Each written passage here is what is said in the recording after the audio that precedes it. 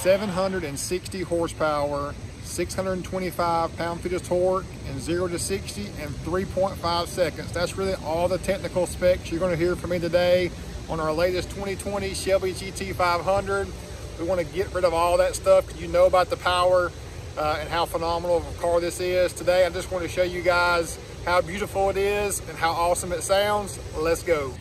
You know, it's arguable that the white Mustang has the biggest following with the white Mustang registry and just so many notorious groups out there for white Mustangs and Chevys of all kind. Just a beautiful, phenomenal package here. I really love the stripes, guys. So without the stripes, it just wouldn't look as near as aggressive. So these are actual painted dual over-the-top racing stripes. Uh, no lines, no issues there. A true painted accessory option uh, from Ford performance. Just gotta love it. Look at this front end. Oh, just so mean and aggressive. So much uh, room for air to come into the front end. All designed by Ford Performance, but just a gnarly, aggressive, mean front end. By far my favorite Shelby of all time, the GT500. So we're 5.2 liters, uh, supercharged, of course. It's got a very good balance. I feel like that 13 and 14 GT500 was very heavy. You could feel it on the front end a lot. It was just a very heavy front end car to where, you know, it had 662 horsepower, but it was just heavy. It, it felt and drove heavy, and this car does not.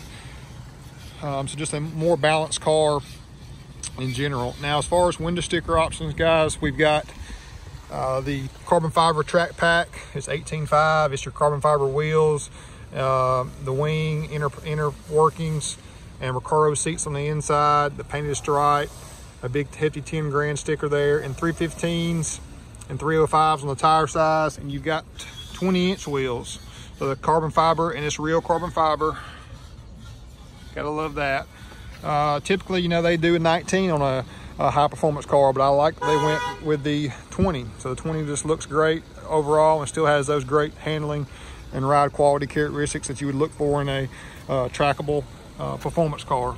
Gotta love your six piston Brembos up front in the red and also the carbon fiber exposed wing on the back too. Looks great. Please do not damage that, guys. It'll, it'll cost a hefty penny to replace either that wheel or that spoiler. Quad tip exhaust sounds killer. Without further ado, let's hear it.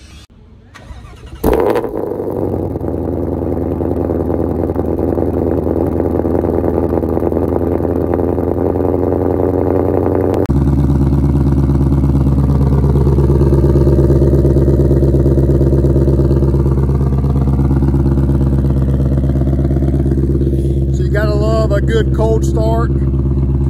Oh man, sounds amazing. Coming around to the inside, guys.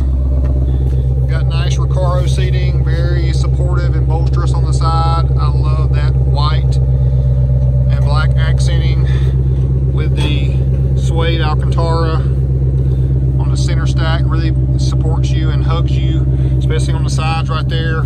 You got Alcantara on the steering wheel as well. More carbon fiber.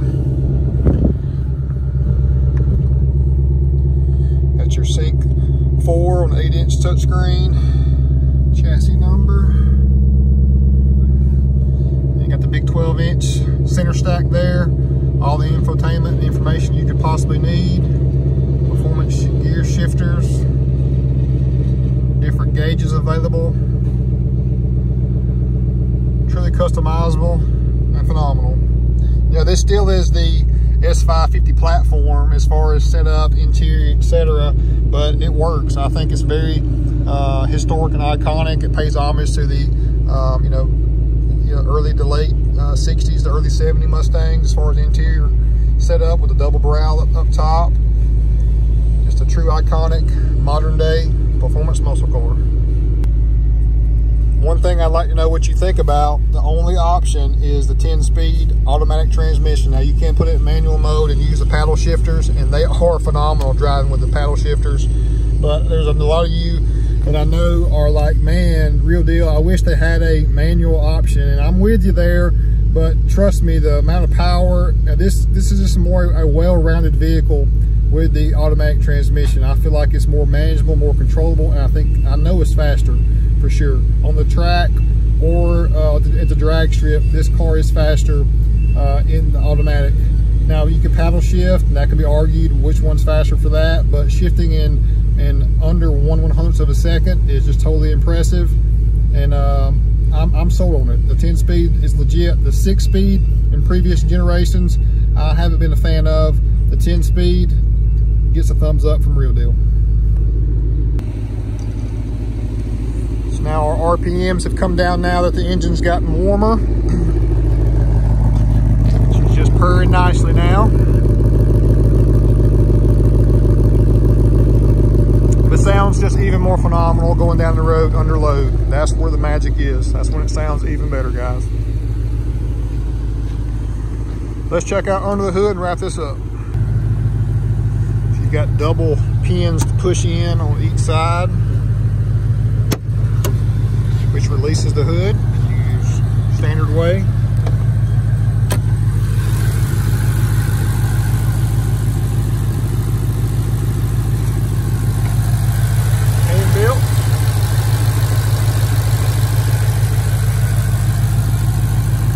Five point two liters. Still has a nice tower strut brace you see above there too. Added support, carbon fiber composite materials. Just a beauty. So guys, nothing fancy or too technical. Just wanted to show you another beautiful GT500. I think this is our fifth one we've received so far. More on the way. We are your source for anything auto, high performance, off-road, all of your accessory needs one store, Akins Ford, Chrysler Dodge Jeep Ram, Wild Willies custom accessories in Winder, Georgia, guys. Thanks so much.